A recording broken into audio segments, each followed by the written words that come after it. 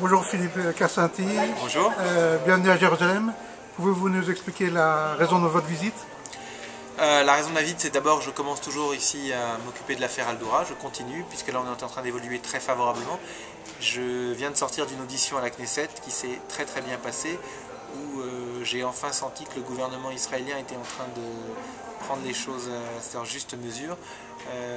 plusieurs partis étaient représentés lors de cette audition et euh, le bureau du Premier ministre était représenté, le bureau de M. Edelstein était représenté, donc ça se passe très bien. On est en train d'avancer et donc je suis venu euh, faire avancer le dossier de droit et on est en très bonne voie.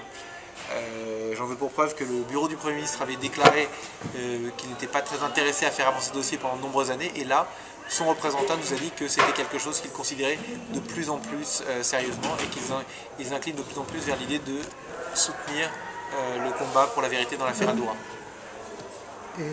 c'est la seule raison de votre visite? Alors c'est donc la partie affaire Aldoura. La deuxième euh, partie de ma visite, c'est pour annoncer le lancement de ma campagne électorale en France, puisque la France a créé des nouveaux postes de députés français de l'étranger.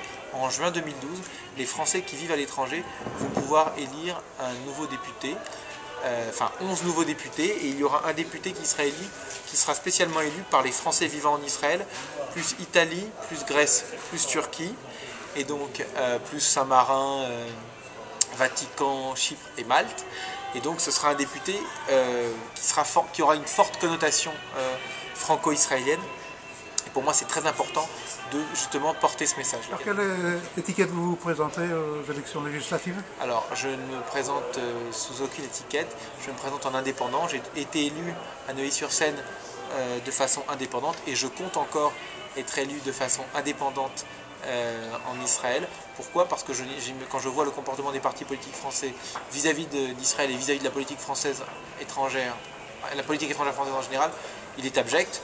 Et donc c'est pour cela que je ne veux absolument pas rien avoir à faire avec ces partis-là. Le Parti Socialiste, ça voudrait dire me mélanger avec des gens comme Hubert Védrine ou Elisabeth Guigou. Non merci.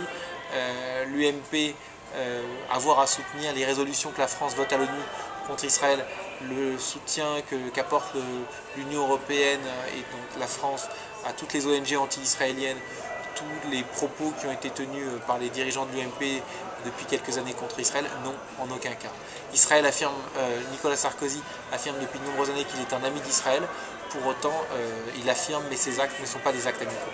Vous avez quand même une plateforme j'ai une plateforme, je suis quelqu'un plutôt de centre droit, j'ai été élu en centre droit en France, mais euh, pour ce qui concerne Israël, je compte rester indépendant et porter une voix différente à l'Assemblée nationale.